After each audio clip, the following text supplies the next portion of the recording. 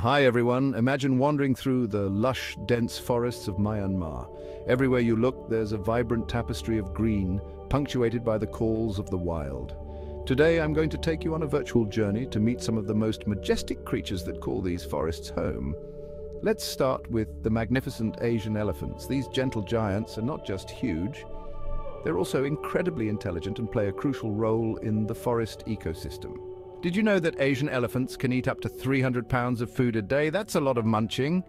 Moving on, let's talk about the elusive clouded leopards. These cats are like the ninjas of the forest. They're incredibly hard to spot thanks to their superb camouflage. Clouded leopards are solitary animals and are known for their remarkable ability to climb trees. Sometimes they even hang upside down from branches to catch their prey.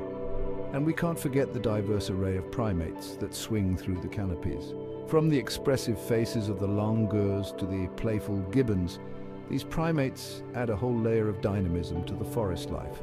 Observing them is like watching a never-ending drama unfold up in the trees. But all is not well in paradise. These majestic creatures face numerous threats from habitat destruction to poaching. Conservation efforts are crucial to ensure that future generations will also be able to marvel at these jungle giants.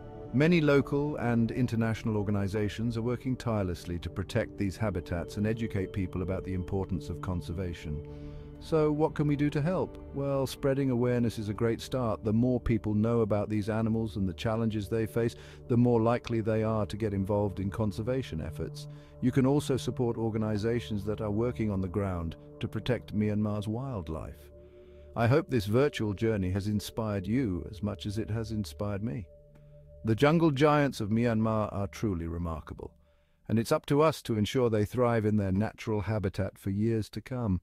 Thanks for joining me today. Don't forget to like, share and subscribe for more adventures.